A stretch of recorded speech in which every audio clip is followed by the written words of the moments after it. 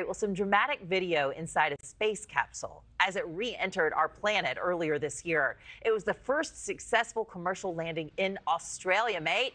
Another milestone for the California based company, Varda Space Industries, which is looking to revolutionize pharmaceuticals. Joining us now is the company's CEO and co founder, Will Bruey. Great to see you, Will.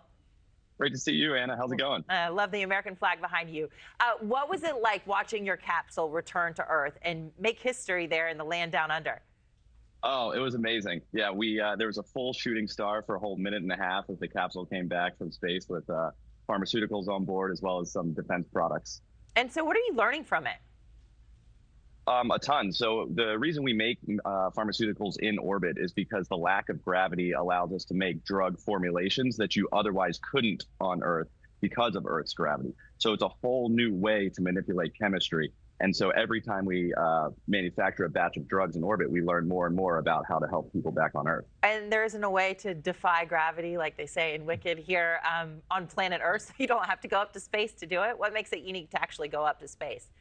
Yeah, fortunately, you cannot reduce gravity on Earth. You have to be in the free fall of orbit. Uh, that's Einstein's law of equivalence. And so, uh, really lucky for us, we can't have any competitors on Earth.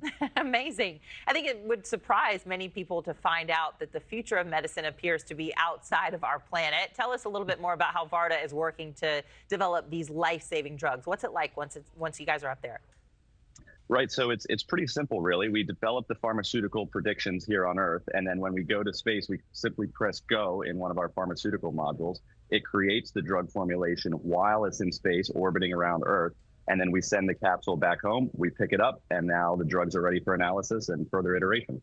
Amazing. So, uh, is this all going to be new technology, new drugs, um, finding cures, or is this going to bring my drug costs down that I currently use? Give me the the breakdown. Yeah, exactly. It, it, it will help increase the number of formulations you can make. So, for example, this has been flown several times on the International Space Station as a research capability where they can take a formulation that used to be an IV bag and turn it into a shot or, or a pill to an inhalable. Those are what I mean by okay. different formulations. And you can create those in the microgravity of space and then bring it back for use for people on Earth.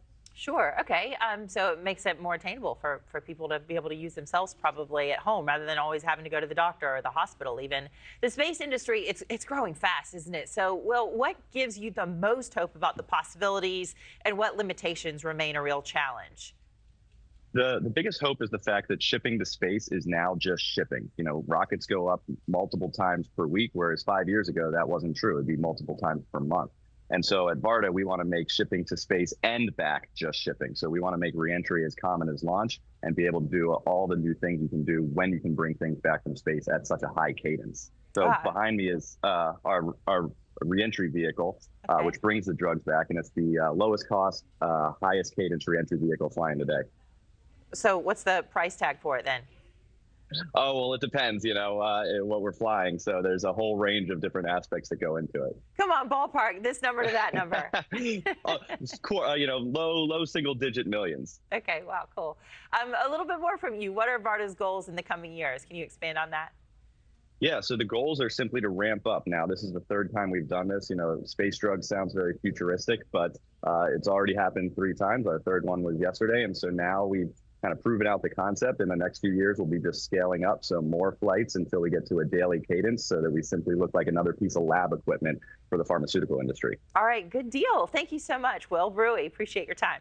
Thank you for watching. Subscribe below and download our News Nation app right now on your phone, and you will get fact based, unbiased news for all Americans.